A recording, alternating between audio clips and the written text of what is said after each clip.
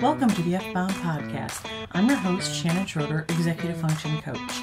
I help neurodivergent women learn tips and strategies to improve the life skills that will help them be successful.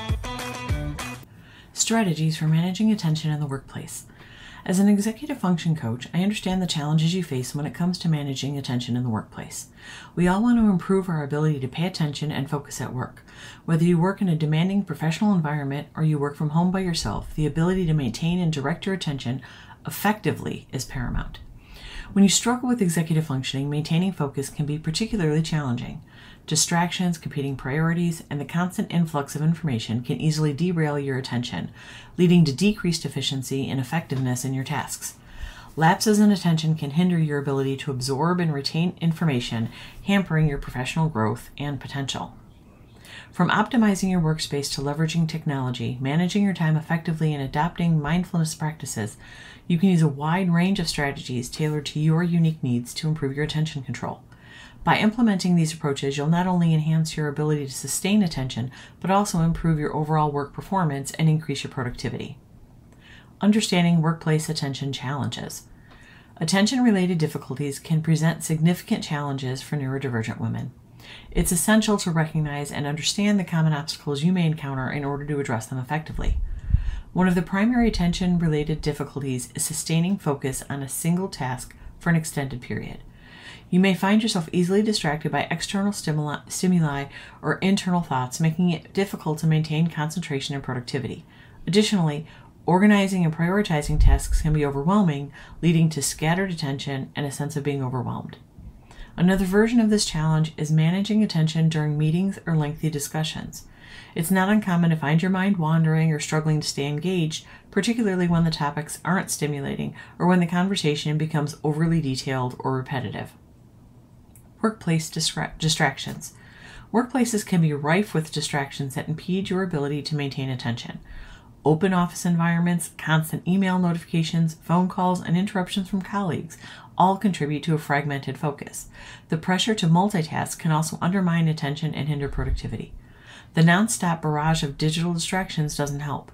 The allure of social media, instant messaging, and endless online content can pull your attention away from important work tasks, leading to decreased efficiency and performance.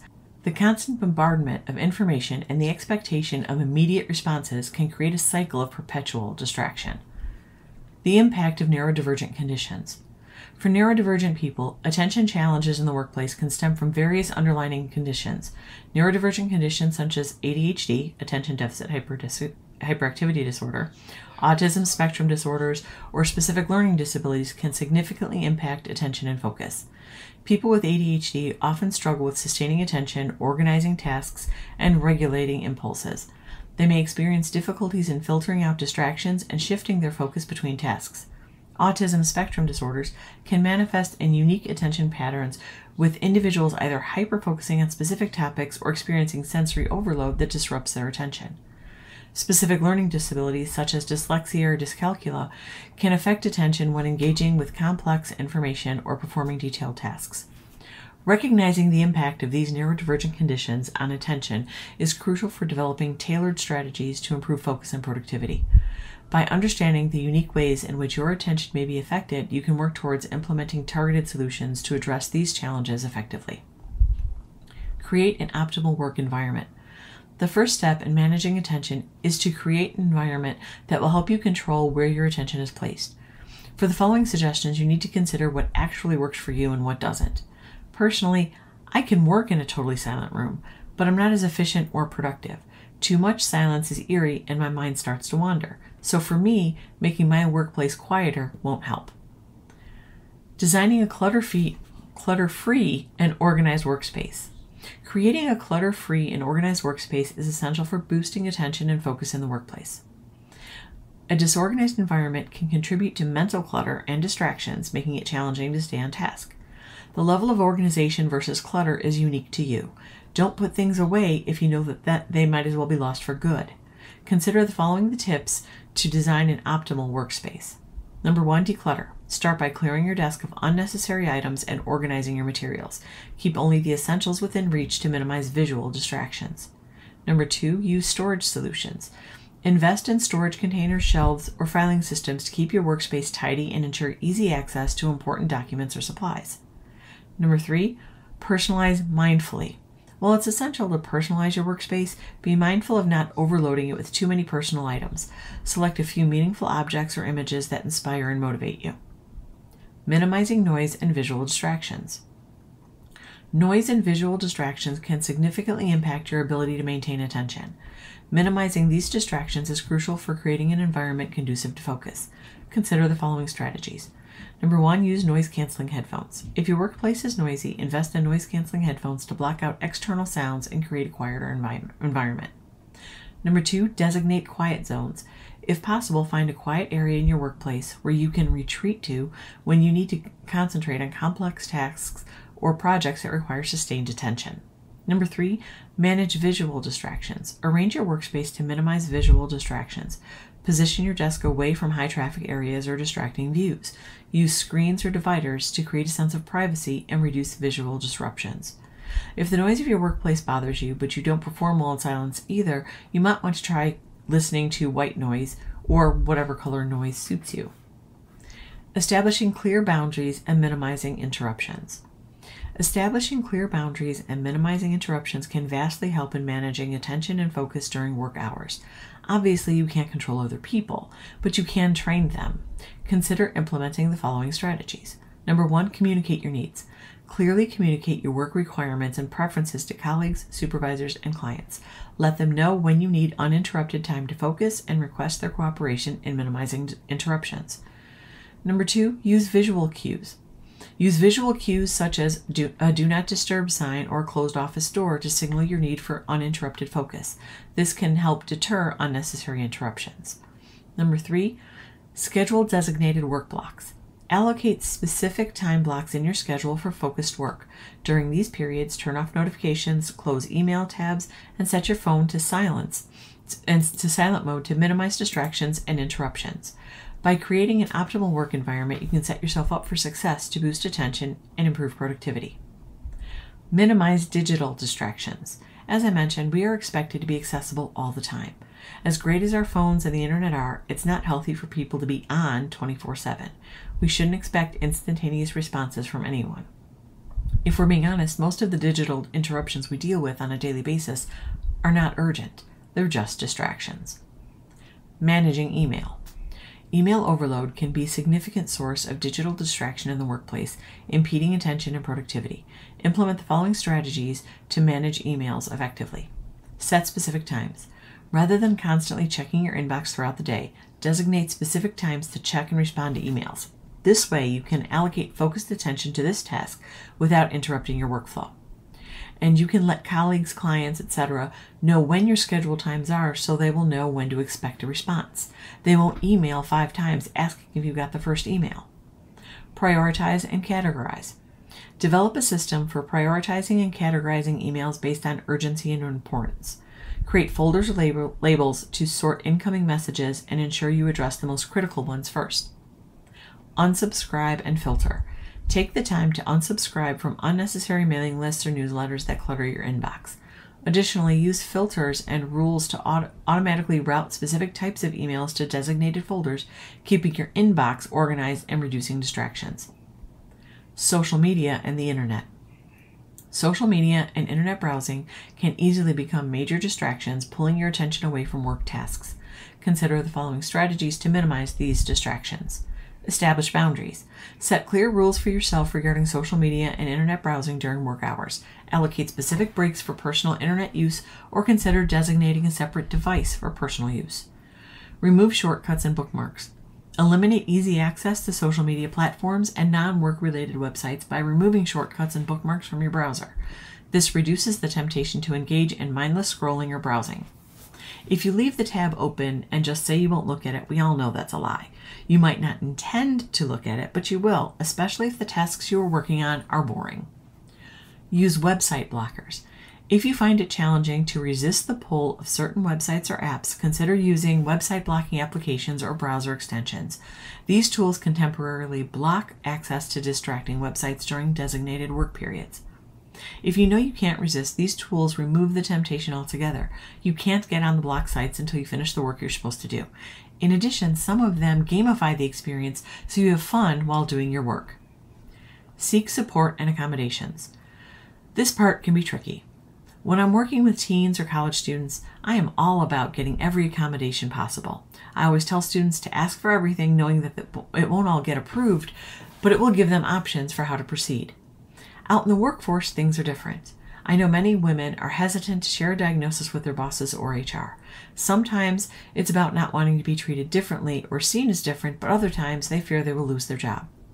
To the first reason, I say, you are different. By definition, neurodivergence means you are different. You can get accommodations that will level the play, playing field because that's what the purpose of them that's the purpose of accommodations. So why not set yourself up for success? For the second reason, you know your workplace. And if being honest puts your job at risk, you might want to skip this section. But I would also ask why you would want to work at a place that would treat you that way. Communicating with supervisors or HR.